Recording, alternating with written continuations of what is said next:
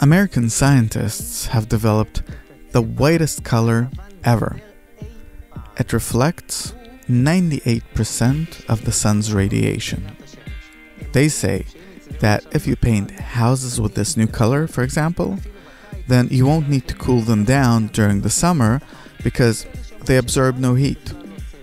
Some say that white isn't even a color as opposed to black that absorbs everything for itself.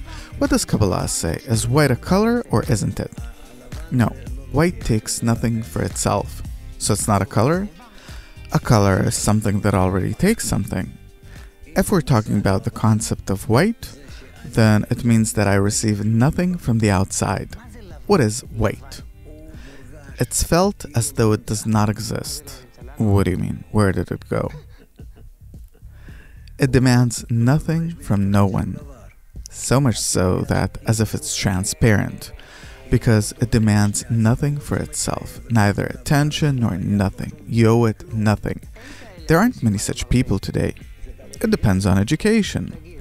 Okay, going back to this initiative, they say that if we take this white color and we paint 1% of our planet with it, we'll stop global warming. And I was thinking, maybe if we take this white and we paint our internality, our attitude toward each other with it, maybe that could stop something. That would stop all problems, not only warming, but all problems. All the viruses, wars, you name it, if this how we'll behave. What's this magic? What's the technology behind it? Your attitude. Towards whom? Towards what? Toward nature? That you want nothing from the still, the vegetative, and the animate, and other people. You just want one thing for everyone to feel good. This means to act like white. And what does a person live from? That he receives from everyone, but to the measure to which he needs in order to exist and no more. And everything else he uses to the benefit of others. And how do I develop, evolve? What do I acquire?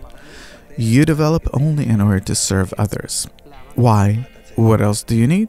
For them to serve me, for example. Then they serve you too? By receiving only what's necessary, and in everything else, think about you. Would you like to live in this kind of white world? Of course, what could be better than this kind of life? Talking about colors, what was then black created for?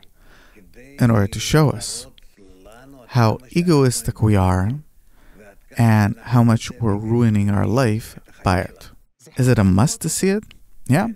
Why? Otherwise, you won't want to turn it into white because to turn it into white means to rise above our own nature.